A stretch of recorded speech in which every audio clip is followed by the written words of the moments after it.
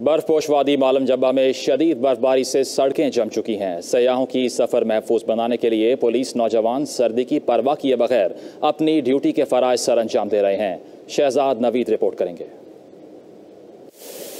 جی شکریہ اس وقت میں برف پوش وادی معلم جبہ میں موجود ہوں، جو کہ شدید برفباری کا سلسلہ جاری ہے۔ ہر طرف سفیدی ہی سفیدی دکھائی دے رہی ہے۔ اس وقت ہمارے ساتھ پولیس اہلکار موجود ہے جو کہ صبح سے ہی ڈیوٹی پر تعینات ہے ہم ان سے پوچھیں گے کہ یہاں پر ڈیوٹی کس طرح وہ سر انجام دے رہی ہے اور حادثات اور سڑکوں کے حوالے سے کیا تاثرات ہے ان کا۔ رش جب ختم ہوتے ہیں رات کو، اس ٹائم ہم اپنا گھر کو جاتے ہیں، لیکن یہ لوگ حفاظت کے لیے ادھر کڑے بھی ہوتے ہیں، ڈپٹی سر انجام دیتے ہیں۔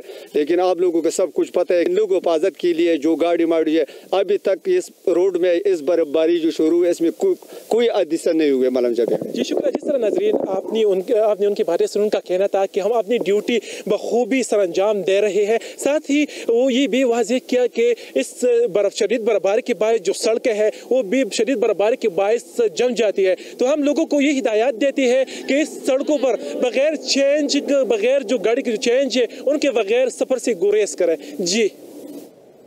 چند ایک پرندے اور کچھ جانور۔